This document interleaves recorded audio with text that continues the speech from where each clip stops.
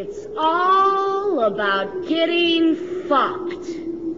That's what it's all about.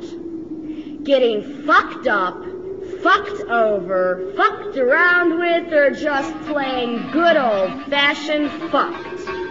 Because this is for those in pursuit of speed, those who confuse desire with danger, power with death. This is for those who know that nothing, no, nothing is ever enough. That nothing is ever fast enough, or hard enough, or tough enough, or hot enough, or horny enough. This is for those who want to crash and burn and die with their boots on while getting a blowjob. But you're looking a little bit cynical.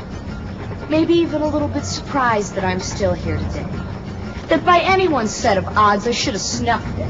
I should have blown it. I should have bitten it a long, long time ago. Why, the way you see it, I probably should have been struck by lightning, hit by a truck, died in a car crash, engulfed in flames, hung from a tree, shot in the face. Maybe I should have drowned in my own puke from drug overdose, alcohol poisoning.